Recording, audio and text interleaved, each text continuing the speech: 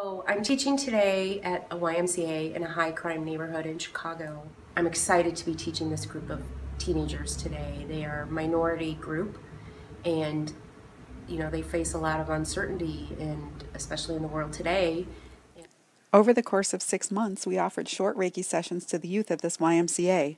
We've been grateful for the opportunity to interact with this community and for the YMCA's philosophy on violence prevention, which is so close to our own.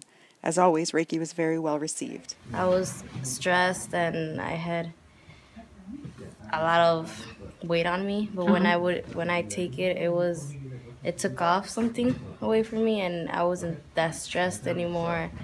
And I really liked it and I hope I could do that on other people and they would feel the same way I felt. I feel. So we spent one Saturday morning teaching several of the youth about the history and philosophy of Reiki and initiating them into this powerful practice. Paula is a new Reiki teacher, so she was able to practice her course delivery. The students were able to learn Reiki for just the cost of their class materials, and I was there serving as TA and documentarian. The students spent the afternoon practicing this new ability and experiencing the sensations of giving and receiving Reiki.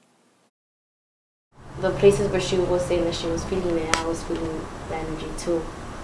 How did how did that energy feel to you? It felt Like what did it feel? strong Uh-huh. and like if we were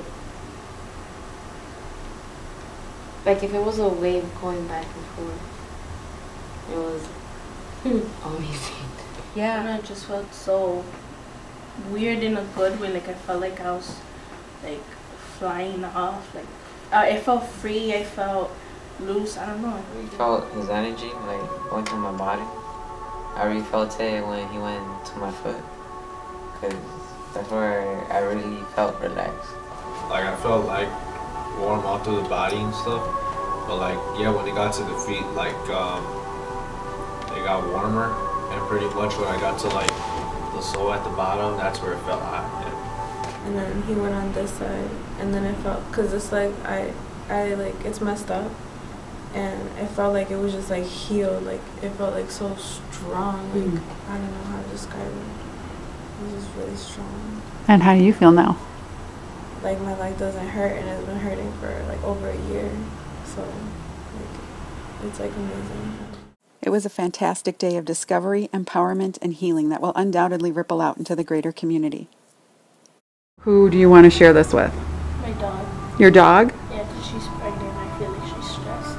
Okay. my mom my sister because she's pregnant also Mm-hmm. and i feel like she's like really stressed mm-hmm. Uh, I'll do Ricky on uh, my family members and my animals, my pets. I guess my mom, cause she's been working this whole week, so I think she needs a break.